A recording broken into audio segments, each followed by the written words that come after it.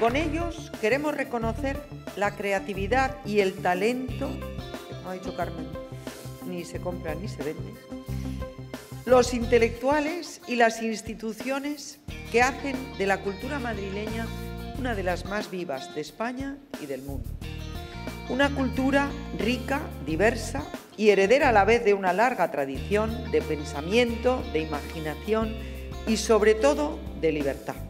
Y también quieren proclamar que Madrid es una región abierta, en la que caben todas las formas de cultura y en la que nacen muchas de las muestras artísticas o los espectáculos más apreciados en todo el mundo. A todos los premiados, mi más sincera felicitación y mis mayores deseos de éxitos en el futuro. Todos los que han obtenido son importantes, pero seguro que lo serán más los que van a obtener en el futuro. Muy feliz Navidad y todo lo mejor para el año 2012. Muchísimas gracias.